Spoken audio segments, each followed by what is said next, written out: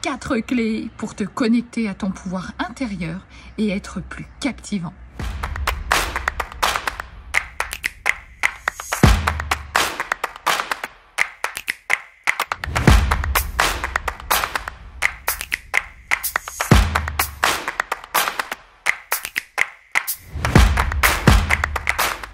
Bonjour, je suis Vanessa Millet, mentor, guide, conférencière audacieuse sans complexe.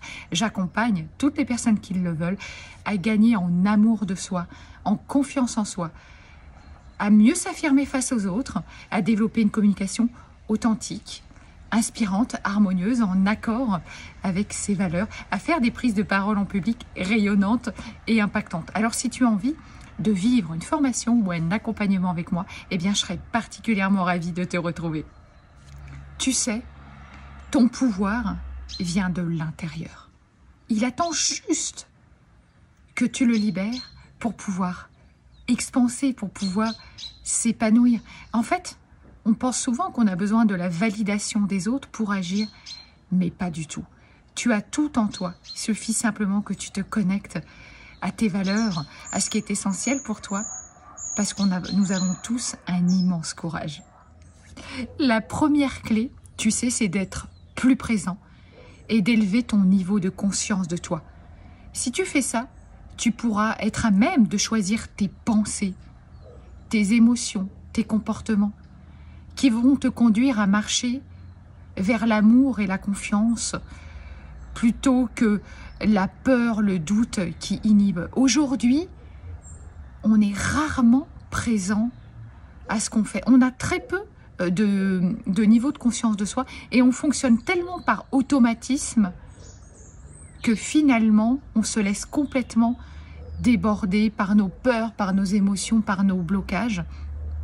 Et c'est vrai que moi, j'ai appris et c'est quand même toujours quelque chose à travailler, j'ai envie de dire, c'est jamais complètement acquis, être beaucoup plus présent euh, à ce que je fais, beaucoup plus présente, beaucoup plus connectée euh, au moment présent. Et je sais que ce qui m'a énormément aidé à ça, eh bien, c'est le fait d'aller marcher régulièrement, pour ne pas dire tous les jours, d'avoir des moments de méditation, de manger euh, en pleine conscience, d'écrire aussi, de faire preuve de gratitude. Moi, je manifeste tous les jours de la gratitude. J'ai vraiment mon, mon petit livre, mon petit cahier de gratitude et j'écris tout ce pourquoi je suis reconnaissante chaque jour. Donc, soyez de plus en plus présent, élevez votre niveau de conscience de vous-même et je vous assure que ça, c'est quelque chose qui vous rend charismatique et qui vous rend captivant dans tout ce que vous faites dans votre vie. Soyez connectés aussi à votre histoire personnelle. Nous avons tous des histoires euh, à raconter, nous avons tous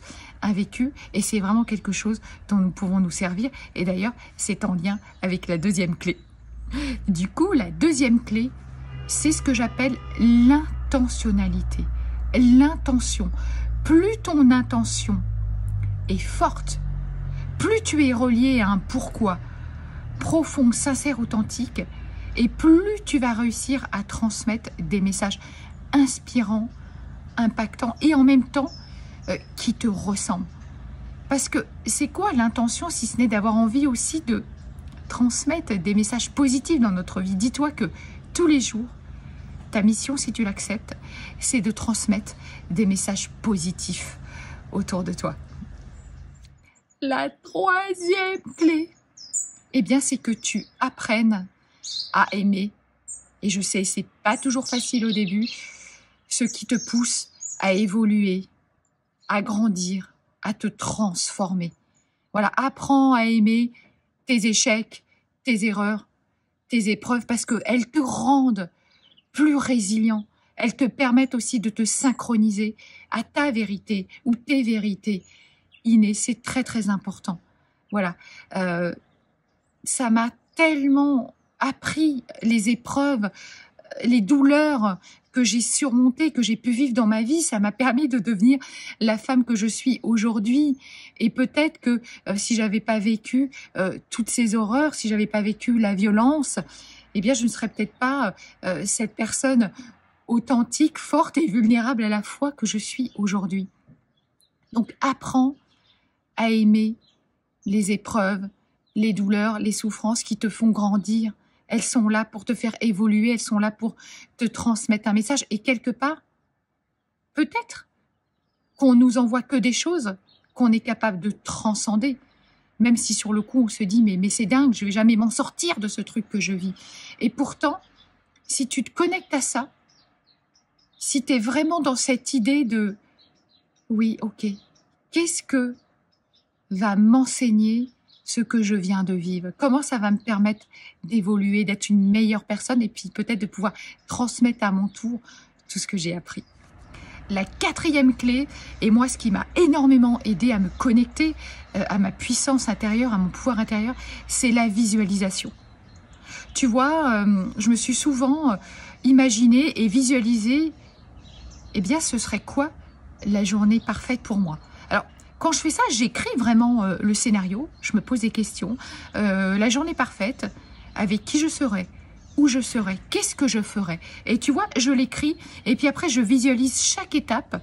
Et comme je le dis souvent, une bonne visualisation, c'est une visualisation qui inclut de l'émotion et du ressenti. Et je fais en sorte de vraiment ressentir mon scénario de visualisation.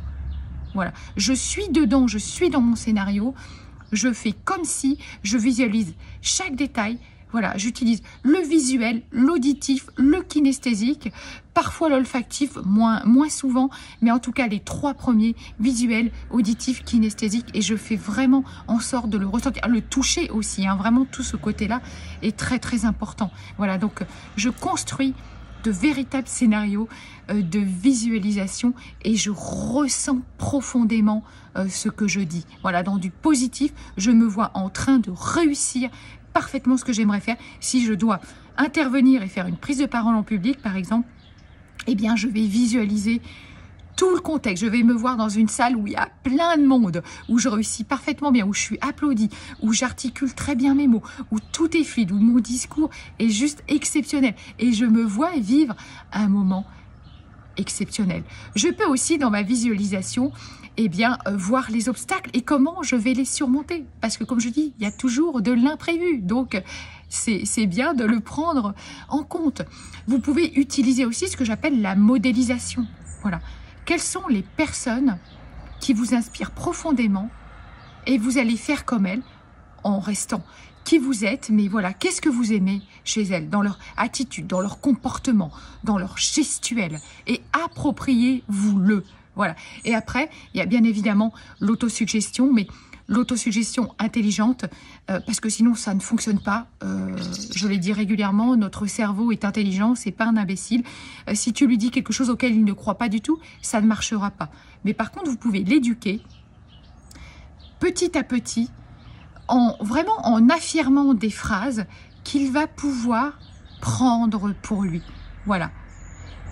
Faites ça et vous allez voir que vous allez rayonner, vous allez impacter.